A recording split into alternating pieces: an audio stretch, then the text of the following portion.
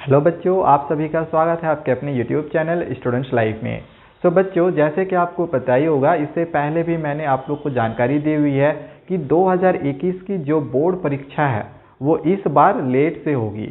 जो परीक्षा फरवरी महीने में शुरू होती थी तो वो इस बार मार्च महीने या फिर अप्रैल महीने से ही शुरू हो पाएँगी इससे पहले शुरू नहीं होगा। तो इस वीडियो में आज मैं आप लोग को तीन कारण बताने वाला हूँ।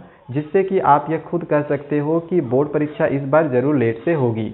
हालाँकि सीबीएसई ने एक नोटिफिकेशन निकाल के ये बताया हुआ है कि हमारी एग्जामिनेशन जो है वो 15 फरवरी से शुरू हो जाएँगी, जो कि ये पॉसिबल नहीं लग रहा है।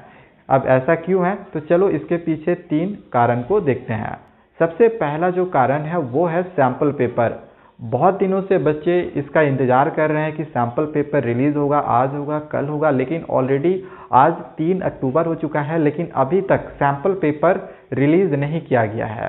सो so, ये एक बड़ा कारण है। यदि सैंपल पेपर रिलीज़ लेट से होता है ऑलरेडी इससे पहले जो सैंपल पेपर रिलीज़ हो जाता था वो 20 सितंबर के पहले रिलीज़ हो जाता था। तो ऑलरेडी 15 दिन लेट हो चुका है। सो so, इस प्रकार से हम यहाँ पे कह सकते हैं कि ये अगर सैंपल पेपर लेट हो रहा है तो हमारी जो एग्जामिनेशन है वो भी लेट होगी क्योंकि बाकी पब्लिकेशंस के भी सैंपल पेपर तब तक नहीं निकालते हैं जब तक कि सीबीएसई ना सैंपल पेपर निकाल दे। क्योंकि जब सीबीएसई सैंपल पेपर निकालती है तो इससे हमें बहुत कुछ का आइडिया मिलता है और उसी के अकॉर्डिंग जो है सैंपल पेपर बाकी पब्लिकेशंस के निकालते हैं। जैसे क्वेश्चन पेपर का पैटर्न क्या रहेगा? तो इन सब के बारे में जानकारी मिलती है। और अभी देखा जाए तो बहुत सारे ऐसे पब्लिकेशंस हैं जिन्होंने सैंपल पेपर निकाला हुआ है, लेकिन उन्होंने अपने अनुमान से निकाला हुआ है तो अभी आप लोग बिल्कुल भी सैंपल पेपर ना ले किसी भी पब्लिकेशन का।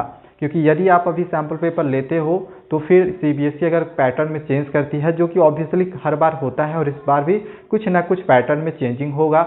इंग्लिश हिंदी संस्कृत में तो ऑलरेडी हमने देखा हुआ है। एस एस टी में भी पैटर्न चेंज है।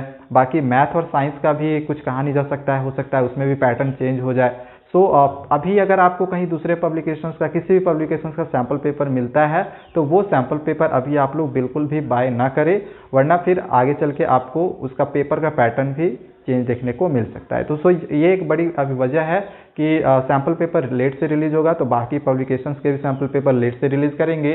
तो इस वजह से हमारी जो एग्जामिनेशन की डेट भी है, जो कि आगे जाएगी। दूसरी जो सबसे बड़ी वजह है, वो है हमारी सिलेबस जैसे कि आपको पता ही है कि जो हमारी सिलेबस है, जो रिडक्शन करके सिलेबस दिया गया है थर्टी परसेंट वो भी लेट से किया, दिया गया है, करीब जुलाई के महीने में।